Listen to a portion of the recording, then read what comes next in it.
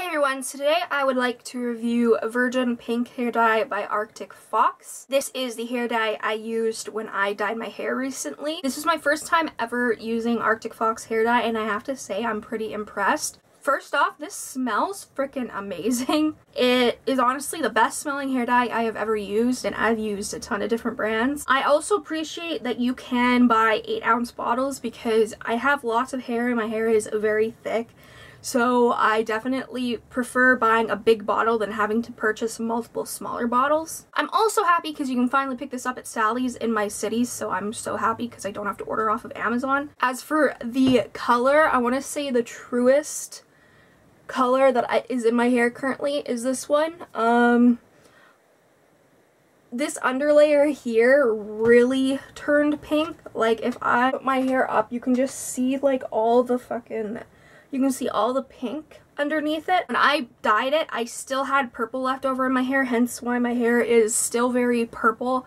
But as you guys can see, it took very well to the bleach bits and it made the purple definitely more pink. Love how this turned out.